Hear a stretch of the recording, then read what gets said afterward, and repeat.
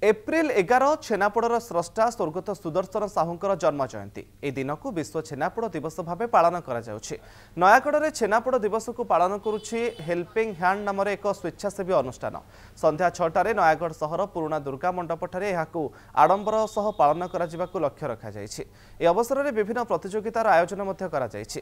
ସେହିଭଳି ସ୍ୱର୍ଗତ ସୁଦର୍ଶନ ସାହୁଙ୍କ ଜନ୍ମ ଜୟନ୍ତୀକୁ ଛେନାପୋଡ଼ ଦିବସ ଭାବେ ପାଳନ କରାଯାଉଥିବାରୁ ଖୁସି ବ୍ୟକ୍ତ କରିଛନ୍ତି ସୁଦର୍ଶନଙ୍କର ପରିବାର ଲୋକ।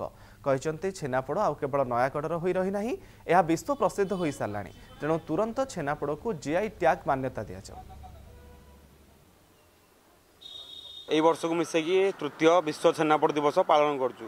ଛେନାପୋଡ଼ର ସ୍ରଷ୍ଟା ଯିଏ ଆମର ସ୍ୱର୍ଗତ ସୁଦର୍ଶନ ସାହୁ ତାଙ୍କ ଜନ୍ମଦିନ ତିଥିକୁ ଆମେ ବିଶ୍ୱ ଛେନାପୋଡ଼ ଦିବସ ଭାବେ ପାଳନ କରିଆସୁଛୁ ଆଉ ଏଇ ବର୍ଷ ମଧ୍ୟ ବହୁତ ଧୁମ୍ଧାମ୍ରେ ପାଳନ କରିବୁ। ଆସନ୍ତାକାଲି ଆମର ସନ୍ଧ୍ୟା ଛଅଟା ସମୟରେ ପୁରୁଣା ଦୁର୍ଗାପୂଜା ମଣ୍ଡପ କଚେରୀ ବଜାର ଅଳଗା ସୋରୁମ୍ ଫ୍ରଣ୍ଟ ନୟାଗଡ଼ଠାରେ। ବହୁତ ପୁରା ଜାକଜମକରେ ବହୁତ ଧୁମଧାମରେ ଆମେ ଛେନାପୋଡ଼ ଦିବସ ପାଳନ କରୁଛୁ। ଏ ବର୍ଷ ମଧ୍ୟ ବହୁତ ଆଡ଼ମ୍ବରରେ ପାଳନ କରାଯିବ ବୋଲି ଆମ- ଆମେ ସୋସିଆଲ ମିଡ଼ିଆରୁ ଯାହା ଦେଖୁଛୁ ବହୁତ ଆଡ଼ମ୍ବର ସହକାରେ ପାଳନ ହେଉଛି। ଆମ ନୟାଗଡ଼ ଏଠି ପାଳନ ହେଉଛି ନୟାଗଡ଼ କଚେରୀ ଆମର ଦୁର୍ଗା ମଣ୍ଡପଠାରେ ହେଉଛି ଏବଂ ଉଁ, ଭୁବନେଶ୍ୱର ଆମର ଜୟଦେବ ଭବନରେ ହେଉଛି ଓଡ଼ିଆ ମିଡ଼ିଆ ସର୍ଭିସ୍ ତରଫରୁ ହେଉଛି। ତେଣୁକରି ଆମ ପାଖକୁ ଯାହା ଖବର ଆସୁଛି ବହୁତ ଧୁମଧାମରେ ଏ ବର୍ଷ ମଧ୍ୟ ତାଙ୍କର ଜନ୍ମ ଜୟନ୍ତୀକି ପାଳନ କରାଯାଉଛି ବର୍ତ୍ତମାନ ଆମେ ଚେଷ୍ଟା କରିବା କେମିତି ଆମେ ନୟାଗଡ଼ ଛେନାପୋଡ଼କୁ ଜିଆଇଟାକୁ ମାନ୍ୟତା ମିଳିବ।